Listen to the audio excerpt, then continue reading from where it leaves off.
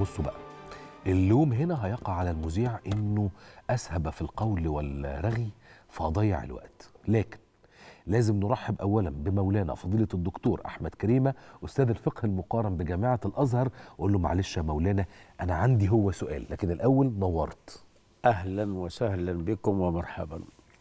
مولانا انتشر في الفترة الأخيرة آه سلوك أنا أشوفه مش محترم. وغير جيد. نعم. الناس بقت مناقشاتها مع بعض فيها الشتيمة والسب واللعن. والهزار حتى الهزار امتلأ بالألفاظ.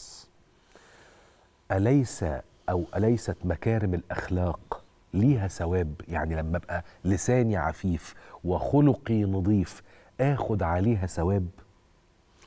أحسنت. بسم الله الرحمن الرحيم. قال الله تعالى في حق رسوله سيدنا محمد صلى الله عليه وسلم وإنك لعلى خلق عظيم. وهو نفسه صلى الله عليه وسلم قال إنما بعثت لأتمم مكارم الأخلاق. وقال إن أحبكم إلي وأقربكم مني مجلسا يوم القيامة أحاسنكم أخلاقا. وإن أبغضكم إلي وأبعدكم مني مجلسا يوم القيامة أسوأكم أخلاقا. وقال الحكيم إذا جاريت في خلق دنيئا فأنت ومن تجاريه سواء. رأيت الحر يجتنب المخازي ويحميه عن الغدر الوفاء. يعيش الناس ما استحيوا بخير ويبقى العود ما بقي اللحاء. إذا أنت لم تستحي ولم تخش عاقبة الليالي فاصنع ما تشاء. الحقيقة ظواهر غريبة عجيبة على معدن الشعب المصري ظهرت في الآونة الأخيرة سواء كانت مواد مقدمة مرئية أو مقروءة أو مسموعة أو على التواصل الاجتماعي لكن آه أنا قلت أن دي أشجار طفيلية على المعدن الأصيل للشعب المصري. لابد من تدارك ذلك من علماء الاجتماع من علماء الدعوة بالنسبة للمسلمين من رجال الدين المسيحيين في الأعمال الرعوية لإعادة مصر أو الشعب المصري إلى ما هو عليه من مكارم الأخلاق. طبعا نحن لا نعمم ولا نطلق.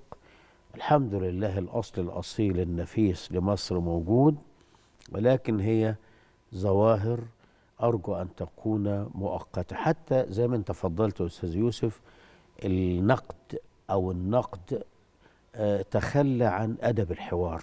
مم. يعني شوف حتى ربنا بيعلمنا في القرآن وإن أو إياكم لعلى هدى أو في ضلال مبين. الله.